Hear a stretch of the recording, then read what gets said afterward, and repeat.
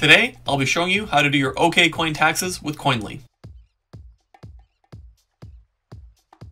Hello and welcome back to another video. My name is Nelly from Koinly and today I'm going to show you how to easily do your crypto taxes if you have the OK uh, Coin wallet with the assistance, of course, of Koinly. So the breakdown of this video will be, I'm going to tell you a little bit about the wallet itself, then I'm going to jump into the very simple integration, and then I'll show you how to get the necessary tax documentation, and then lastly, I'll show you where to go if you need further assistance or other resources. So well, without further ado, let's jump into today's video. So this wallet was founded in 2013. That's a very early um, crypto exchange. 2011, 2013 time is kind of the beginning of, of these big exchanges. It's based out of San Francisco, California. It is currently a top 30 exchange by trading volume. Um, they have a lot of simple features which are very um, beginner friendly. They have a very clean interface, but they do also have um, earning options with various coins as well as OTC and advanced trading if you're interested in that kind of stuff. Their highest APY rates are currently with coins like the Miami coin and STX, so let me know if you're making some fat returns on any of these coins. Okay, so that's enough about the wallet itself. Let's talk about the actual integration. So first we're going to do is log into Koinly as we always do. Head over to the wallet section, click add wallet. We're going to type in OK and it should be one of the first ones. Here it is, OKCoin. And then we're going to click two different options. I'm going to start off with the uh, API. Although the API is very limited, I'll still show you how to do it. And then I'll show you what I believe is the better option, which is through CSV files. So um, let's click this one and a few notes here. So only last one month of transactions uh, can be retrieved. Only last three months of trade history can be retrieved. Margin trades are not supported. So keep those things in mind and you're probably going to need to use the CSV file anyway, but I'll, I'll still show you how to do this just in case. So heading over to their website in the top right corner from this drop down menu, we're going to click the API um, button here option, and then we're going to click create API key, give it a name, something like Koinly. Um, passphrase is up to you, make it six uh, characters, so I don't know, I'll call it Nelly Koinly. so just so you can see it.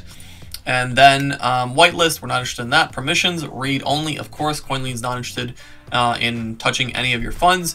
And then lastly, we need an e uh, email code and we need the Google authentication.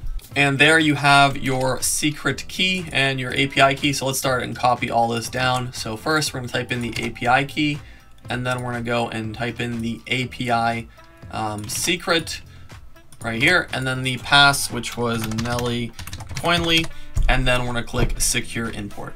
Okay, so that was great and all, but as you can see, the API is very limited. Maybe that's gonna change in the future. So let me show you how to get the CSV files, which I would say 99.9% .9 of users will need. So let's go back and type in um, OKCoin. I just realized they have very similar logos. Wow. Anyways, um, OKCoin, and then we're gonna click import from file and now I'll show you where to get those files. Okay, so heading back into um, OKCoin, in the top right corner, we're gonna go to assets, and then we're gonna click account history. And here we have three different files that we can get. Obviously, if you're not doing things like margin trading, um, you won't need that file, but if you are, these are the three different files you need. So first, um, funding account in the right side here, you click download, select select an appropriate time frame. So for most people, it's to be a tax year, and click create um, create report. So that's one, and then you're going to go over to spot, same thing, uh, select a time frame and download, and then lastly margin, um, select a time frame and download, and you're to have three different CSV files. Okay, so for me, I only did one file just to show you uh, as a demo, but if you have three, that's totally fine. Upload them each individually, um, click import, and just wait for your transactions to load in.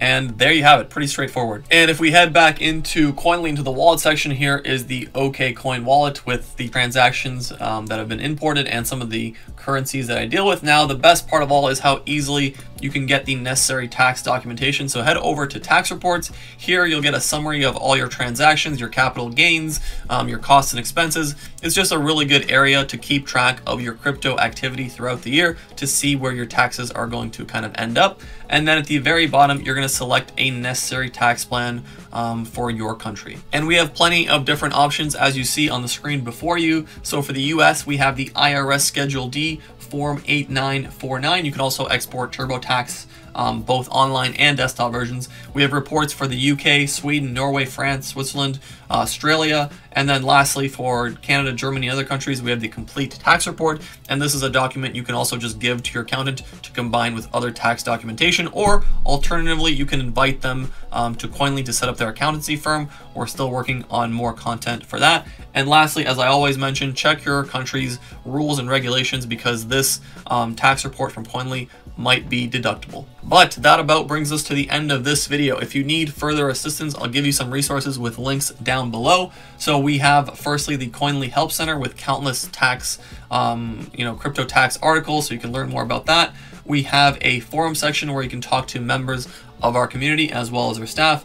And then lastly, we have a contact section where you can send us email and we'd be happy to get back to you. But if you found this video helpful in any way, consider dropping a like, subscribing for more crypto content, and I'll see you next time. Peace.